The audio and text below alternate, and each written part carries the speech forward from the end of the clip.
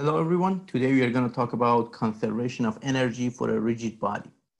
So as the name suggests, we use conservation of energy when energy is conserved. The equation for conservation of energy falls under the umbrella of work and energy. So it's a very special case of work and energy. Work and energy equation is a general equation. So if you remember, we said that the kinetic energy of the initial position plus the work that we do on our system would equal the final kinetic energy. So this work that we talked about here does not distinguish it between conservative forces or non-conservative forces. We can include any type of force, such as friction, external force, gravitational force, the force of a spring, and so on.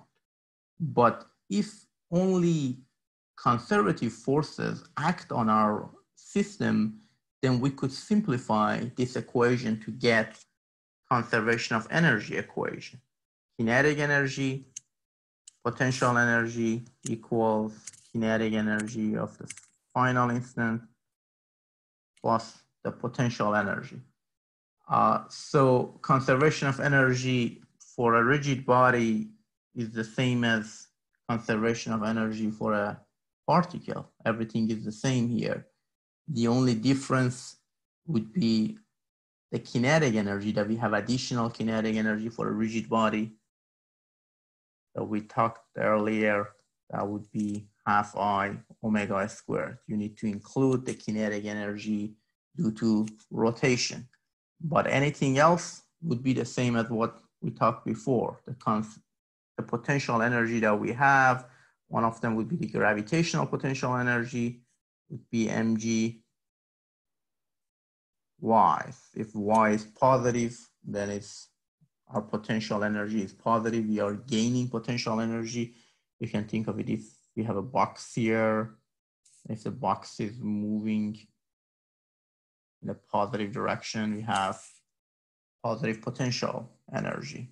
And if you have two positions, it's better to set your coordinate system in one position. So you can say that the potential energy for the initial position is zero and the potential energy for the final position uh, would be mg y. It would simplify your problem.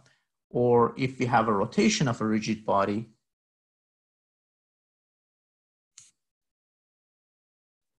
if our rigid body is rotating, the center of gravity would be the point of interest for finding potential energy, the difference in height. In case of a rigid body, sometimes it's easier to set your coordinate at a fixed point, saying that, okay, this is my coordinate. And I'm gonna find this height and this height. Uh, for the other component of potential energy is the elastic potential energy that is stored in a spring. So that would be half K S squared. The elastic energy is always positive because it has the potential to do positive work.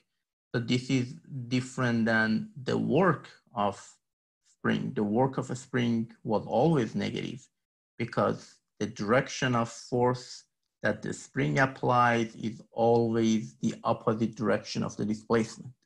So that's one major uh, distinction that we need to make between the elastic energy and the elastic work. And in terms of kinetic energy, we have I omega squared and also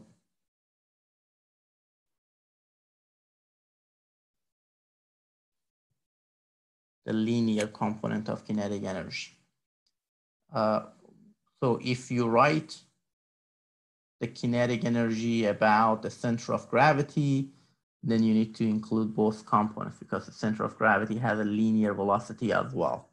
Or if you find your fixed point, that would be simplified to I O omega squared, assuming O would be our uh, fixed point.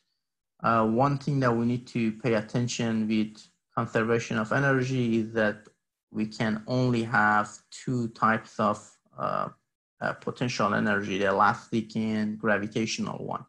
If you have non-conservative work, such as uh, friction or external work, you have to use the more general equation, which is the equation of kinetic energy and work. And if you remember, we defined conservative works are the conservative forces or the forces that the work done by them is independent of the path. So the work done by the spring is independent of the path and only depends on the initial and final location. So any problem that can be solved using conservation of energy can also be solved using work and energy. But remember the the other way is not true. If we can solve a problem with work and energy does not necessarily mean we can solve it with conservation of energy. Conservation of energy is uh, another representation of what's happening to our system. So in many problems, uh, you have the choice of which one uh, to use. The structures are a little bit different. The main distinction was the elastic energy that is always positive and the elastic work is always negative.